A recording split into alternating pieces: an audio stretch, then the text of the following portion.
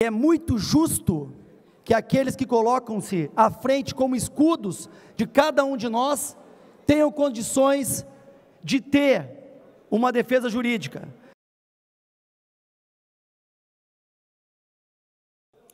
Eu venho hoje parabenizar a nossa gloriosa Polícia Civil do Estado do Rio Grande do Sul. Para quem não sabe, no dia de hoje, a Polícia Civil capturou um líder de facção e, pasmem, meus senhores, condenado a 30 anos, estava no regime semiaberto.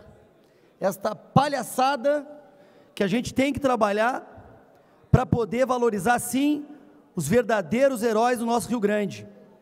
Parabenizar na pessoa da chefe de polícia, delegada Nadine, delegado Arthur Haldi, do nosso DEIC, Departamento Estadual de Investigações Criminais, encaminhei um projeto de lei que justamente tenta acalentar um pouco os anseios dos nossos policiais militares, dos nossos bombeiros, SUSEP, IGP, Defesa Civil, que é que a mesma Defensoria Pública atenda, juridicamente falando, os nossos policiais.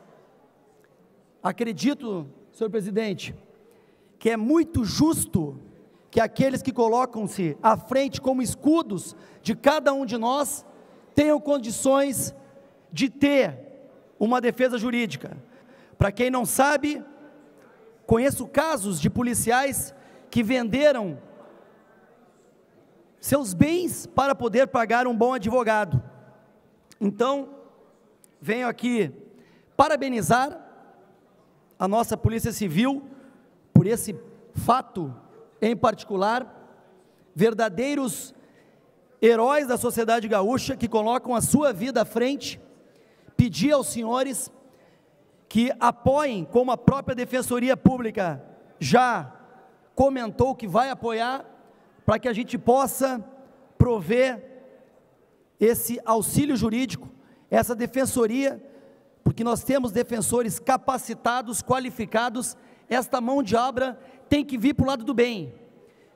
E esses criminosos, sim, serem condenados de forma justa, deputado Edson Brum. Um criminoso tem que entender que ele sim tem que perder a liberdade e não nós. Vamos em frente, ajudar e apoiar aqueles que merecem. Muito obrigado.